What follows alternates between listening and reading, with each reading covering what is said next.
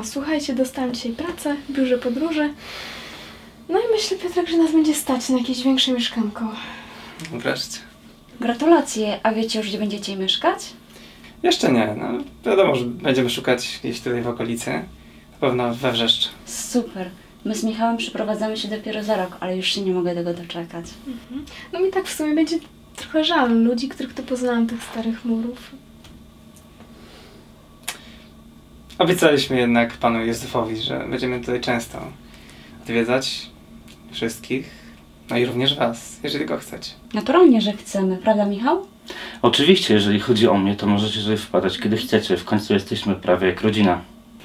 No a propos rodziny, to, to muszę się do czegoś przyznać, że Piotrek rano mi się dzisiaj oświadczył. Jak pięknie. Ojej, jaki piękny! I wy nic nam nie powiedzieliście od razu? Właśnie mówimy i, i tak przy okazji mamy prośbę, żebyście nie, nie zechcieli zostać świadkami na naszym ślubie. Oczywiście, że chcemy. Jak Naturalnie. moglibyśmy nie przyjąć takiego zaszczytu? No, to zapowiada się wspaniała impreza. E, wiecie już kiedy będzie ślub? Jeszcze nie, no to jest tylko formalność do załatwienia w kościele. Najważniejsze, że jesteśmy razem i nikt nic nie jest w stanie nas rozdzielić. Piotrze, Aniu, no to była prawdziwa przyjemność i zaszczyt mieć was za wychowanków. No, Nawzajem. mam nadzieję, że będziecie nas często odwiedzać. No, Panie Józefie, no, będziemy przychodzić. Był Pan dla nas jak ojciec. Mam nadzieję. Do zobaczenia. Trzymaj się już. Cześć. Trzymajcie się.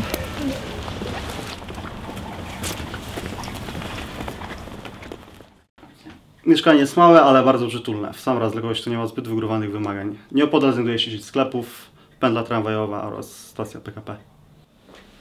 Co ty myślisz? Jak dla mnie może być. Bierzemy. Ja naprawdę nie wiem dlaczego ta parapetówka skoro za chwilę ślub, wesele. Przykro mi, ale wesela nie będzie. No jak to tak ślub bez wesela? Tak się nie godzi. No już Michał, ale nie stać nas na to. Zarabiamy naprawdę bardzo mało i w ogóle się będziemy cieszyć jak do pierwszego starczy. Ej, rozumiem. Ale jak ja i Diana będziemy brali ślub, to na pewno zrobimy wesele. Po moim trupie już ja cię widzę na tym weselu, jak tańczysz ze wszystkimi dziewczynami oprócz mnie. Muszę wam coś wyznać. Od dzisiaj Diana pracuje w oszołomie. Sam jesteś oszołomniejszyć tak ze mnie więcej, bo się z tobą policzę. To dobrze mieć takich przyjaciół. Rodzinę chciałeś powiedzieć. Co racja, to racja. Proponuję toast. Za rodzinę. Za rodzinę. Za rodzinę.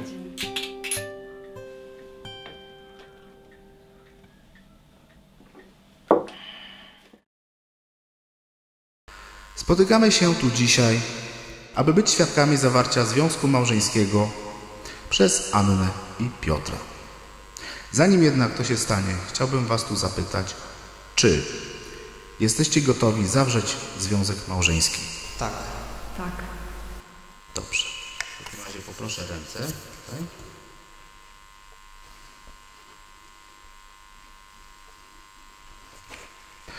Piotrze, czy bierzesz sobie Annę za żonę? I czy będziesz przy niej w bogactwie, w biedzie, w zdrowiu, w chorobie, dopóki śmierć was nie rozłączy? Tak. Anno, czy bierzesz sobie Piotra za męża i będziesz przy nim w zdrowiu, w chorobie, w biedzie, w bogactwie, póki śmierć was nie rozłączy? Tak.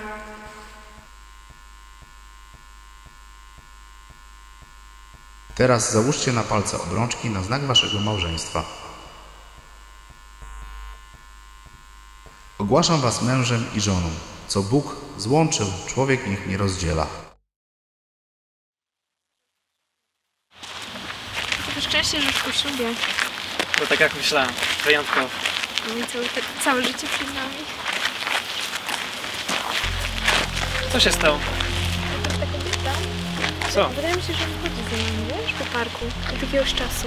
Jak chcesz, to pójdę do niej. Powiem, żeby dała, dała nam spokój. Może jestem przewrażliwiona, wiesz? Myślę, że sama nam powie, jeśli będzie, będzie chciała. Co chodzi. Michał, ty jesteś policjantem. Powiedz, co zrobić, jeżeli wydaje się, że, że ktoś nas śledzi? Zmienić nastawienie. Albo postarać się wyjaśnić sytuację, ale e, tylko w, w sytuacji, kiedy masz stuprocentową pewność, że dana osoba cię śledzi. Prawda jest taka, że często mijamy różnych ludzi na ulicy i niektórych mijamy nawet codziennie I fakt, że mijamy kogoś na ulicy codziennie nie oznacza jeszcze, że ta osoba nas śledzi. No niby nie. Mam nadzieję, że kobieta, która z nami, za nami chodzi po parku, robi to tylko przypadkiem.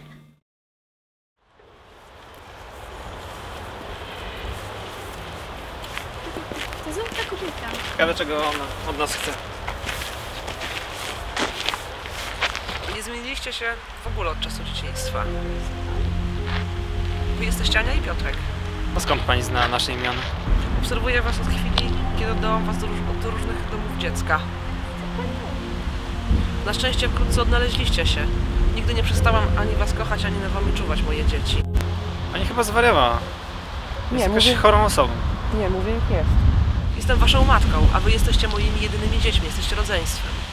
Piotrek, no powiedz coś, bez, że to nieprawda. Chodźmy, stąd, nic tu po nas. Mówię jak jest, a ty powinieneś mnie szanować. Piotr, a, a jeżeli ta kobieta mówi prawdę o tym, że jest naszą matką, a my jesteśmy rodzeństwem, Jakaś chora kobieta. Jest smutna, nieszczęśliwa, samotna. Wszyscy wokół niej są szczęśliwi, a ona? ale przecież znała nasze imiona. Mogła nas podsłuchiwać w parku wiele razy. Dałbym sobie rękę uciąć, że tak mogło być. No wiesz, całkiem możliwe, ale ja się nie uspokoję, dopóki się nie okaże, że ona kłamie. Jeżeli chcesz, możemy, możemy zrobić testy na pokrewieństwo. Chcesz? Mhm, chcę.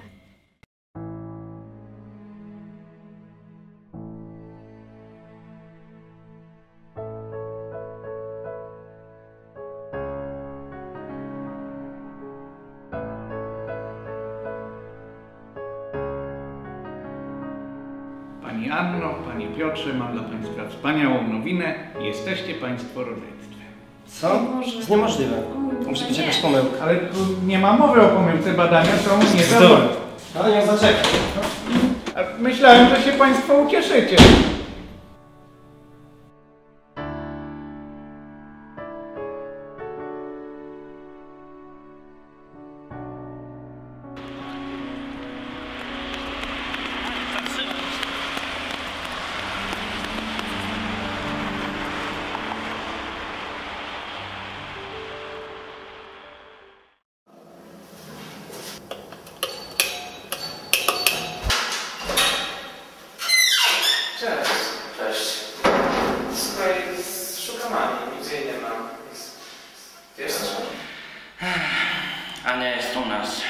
U nas nocować.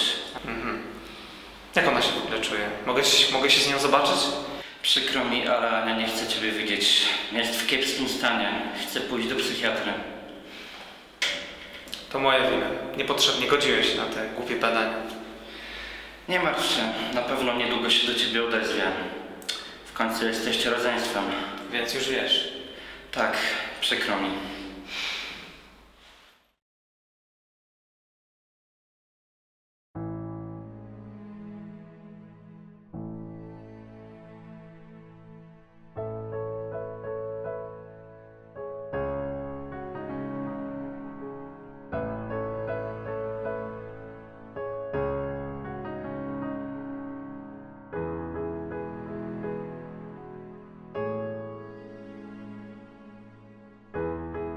Drogi Piotrze, 10 miesięcy temu zaszłam z Tobą w ciążę. Nasze dziecko oddałam do domu dziecka. Choruję na nerwicę. Jutro wyjeżdżam z Polski. Na zawsze. Proszę nie szukaj mnie ani naszego dziecka, bo i tak nas nigdy nie znajdziesz. Ułóż sobie na nowo życie, tak jak ja to robię. Wciąż Cię kochająca Ania.